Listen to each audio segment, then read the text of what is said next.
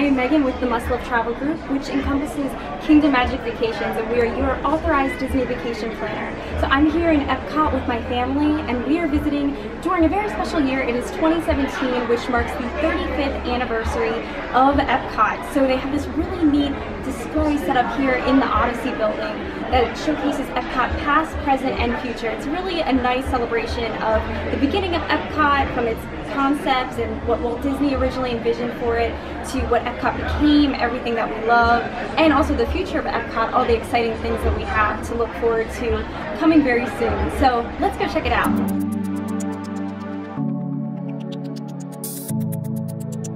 So here for the Epcot 35, they have this whole showcase of Epcot past, present, and future. So they have some models and things. Like here's the Canadian Pavilion. I think this one's Norway? Oh no, Germany. Cute.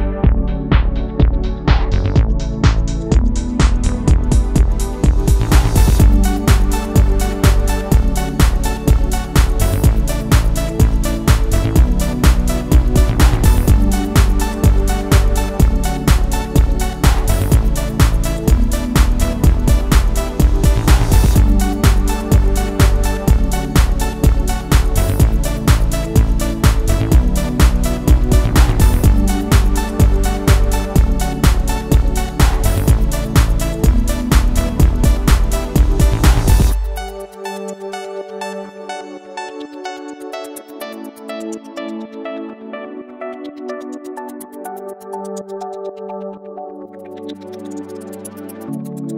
you.